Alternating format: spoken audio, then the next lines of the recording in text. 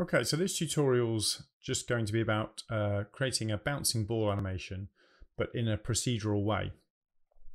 I've got something set up here which is not procedural, as an example. So this one is just simply using some shape animation. So we've we've animated the position Y, so we're going up and down, but we've also, as we're as we're moving through these stages of the of the bounce, we've animated these keys so that the shape changes throughout. You can see we've got it at the other end here. Okay, so that's one way to do things, but we want to we want to do this in a more procedural way. So let's just show you how to do that. I'm going to start by creating um, my ball. This so I've just alt clicked there on the on the ellipse, and let's just start by animating it in in position Y. So let's have the first frame will be 300, and let's set a key. Let's move to frame 14, and let's go up to positive 300 and then at 28 back down again to negative 300. Okay, so we've kind of got our up and down there. Now the first thing we want to do for this particular tutorial is, is loop that animation. Um, so if we switch into the graph editor, we can just simply select the curve and then we can hit this button here to, to loop it. And as you can see, that's now carrying on. The other way you can do that is to right click and have loop after and looping. And obviously the other thing we need for a bouncing ball has a sort of parabolic curve in the way that it moves. So if we just alt click the key at the top there, I'm just going to drag these out a little bit. Obviously you do this to your taste and then let's just see how that's looking. Okay, so that's fine. But what you'll notice is there's no deformation at the bottom. So really it should be squashing and as it bounces, it should be deforming.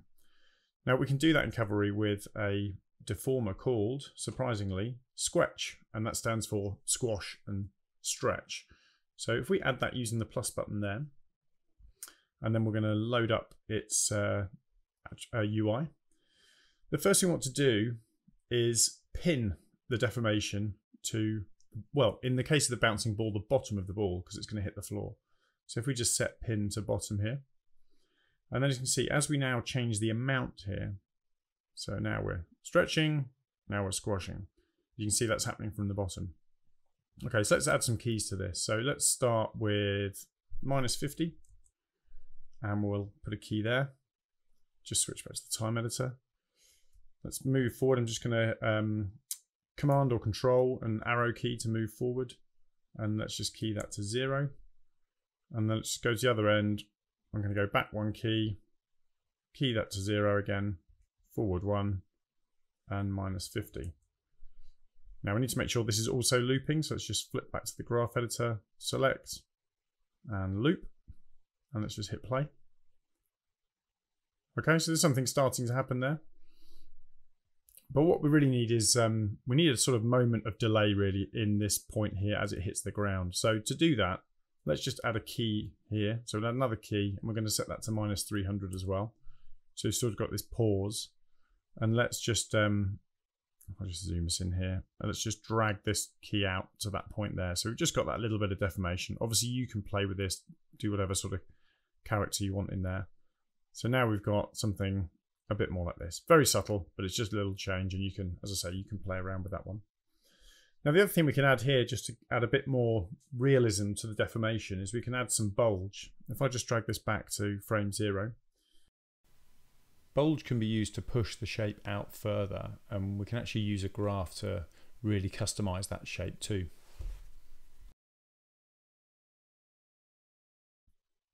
I'm going to open up the bulge graph here. Now I know what I know what, what shape I would like this to be and I need to graph something a bit more like this but obviously you can play around with this and you can do whatever you like but for the purpose of this tutorial I'm happy with that and let's say that our first frame is uh, let's go with 50. Again, just for a round number, we'll go forward a frame. Uh, bulge, that needs to be naught. And we'll do the same at this end. So we're going to key that. And we're going to key this to 50 here as well. Okay. And away we go. Nope. We need to also make sure the bulge is also looping. So there we go. Now let's add some motion blur to this. I'm just going to check enable motion blur in the project window here and then I also need to enable it on the shape itself. So I just need to check that box. Okay, so not perfect, but let's say for the purpose of this tutorial, that is exactly what we wanted. Um, but where things get interesting now is that because this is built in a procedural way, we can actually change, we can go back and change the radius here. So even though we've changed the radius, it actually still works. All the deformation is still valid. But one thing you will notice when I did that, if I just go back to frame zero, as I change the um, radius there, you can see that the, the base was, was moving position. Now we can set things up for that not to happen. And the way we can do that is by adding an align deformer. Now, I actually need, I should have really, if I'd been doing this um, in an intelligent way, I should have really added that first. So we just need to swap those two round and have the align happen before the squetch. And now, if I then open up the align UI, I need to set the Y to 1. And as you can see, the pivot now is at the bottom there. So as I now change the radius, that happens from that from that bottom point. So the floor is effectively in the same place. Okay. And so we can do that in playback and we can just, we can now make it bigger. Obviously it has a sort of heavier, more weighty feel, or we can get a bit smaller, a bit more bouncy, fun, lively. Okay, so let's just put that back to something like that. Now, let's take this a bit further. Let's let's play with Cavalry's architecture here. Um, I'm going to add this to a duplicator, but in order for the position transform, or the, the, the animation that we've put onto the position, I need to group this first because the um, duplicator by design will ignore this. But if I put it into a group, it will respect it. So I'm going to group. So I'm just hitting Command or Control G to make a group there. And then with that group selected, let's just Alt click the duplicator up here. And let's load that up. Now let's have a linear distribution. And let's spread those out a little bit.